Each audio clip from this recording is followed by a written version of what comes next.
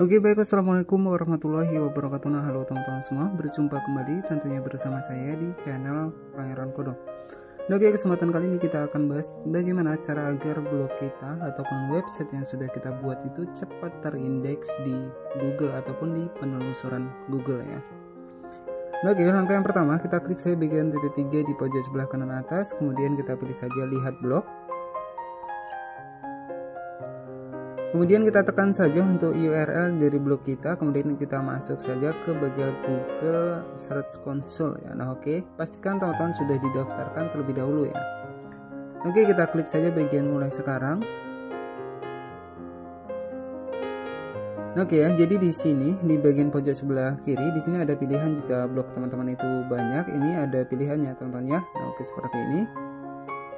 Oke, jadi cara agar uh, website kita mudah terindeks di Google. Caranya tinggal kita tekan saja di bagian menu pencarian, kemudian kita masukkan URL dari blog kita yang sudah kita salin tadi, tahan dan kita tempel. Nah seperti ini. Kemudian uh, kita klik saja bagian tanda panah di bagian bawah teman-teman ya.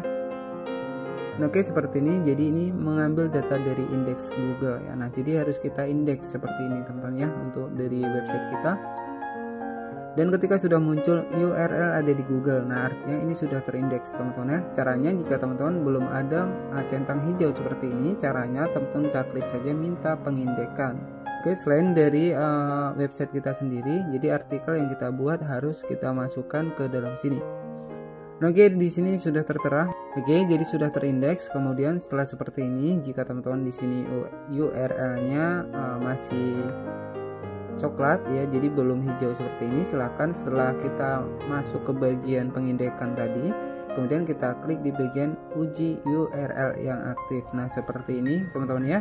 Oke jadi cara ini agar website kita cepat terindeks. Nah di sini sudah terindeks ya. Jadi URL tersedia untuk di Google Nah untuk melihat dari laman halaman kita yang diuji kita klik saja bagian lihat halaman kemudian ada screenshot kemudian ada info lengkap ya. Nah seperti ini teman-teman bisa dicek ya.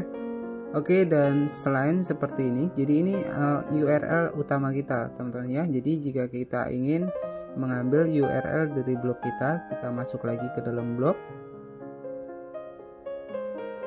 jadi artikel kita juga harus kita daftarkan ke Google Search Console ini teman-teman ya nah di sini kita pilih saja untuk websitenya Oke, jadi di bagian website teman-teman uh, di bagian artikel teman-teman bisa tekan saja segitiga di sini kita tekan kemudian kita salin. Oke, selanjutnya kita masuk lagi ke Google Search Console-nya. Caranya sama, tinggal kita pastekan saja.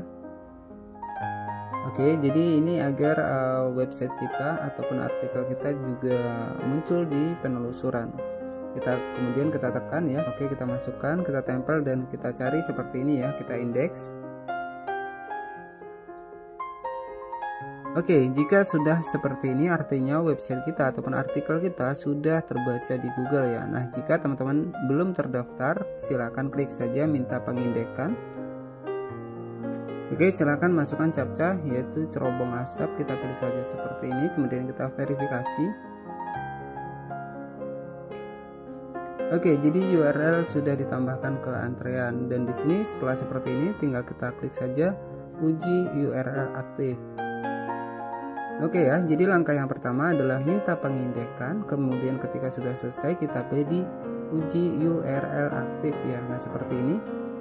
Oke, ini agar trik uh, agar artikel kita itu terindeks ya. Biasanya terindeks itu sekitar 3 atau 4 hari ya bisa terindeks ya. Nah, jadi ketika sudah kita indeks seperti ini, ini otomatis uh, tidak langsung muncul, teman-teman ya. Jadi munculnya itu sekitar tiga hari atau empat harian itu baru muncul ya. Ketika sudah kita daftarkan di Google Search Console ini. Oke, nanti kita juga akan bahas sitemap ya. Jadi uh, untuk kali ini kita akan bahas uh, cara agar website muncul di penelusuran Google terlebih dahulu. Oke cukup seperti itu jangan lupa buat klik tombol subscribe dan aktifkan lonceng notifikasinya agar teman-teman mendapatkan pemberitahuan terbaru dari channel ini. Oke selamat siang dan wassalamualaikum warahmatullahi wabarakatuh.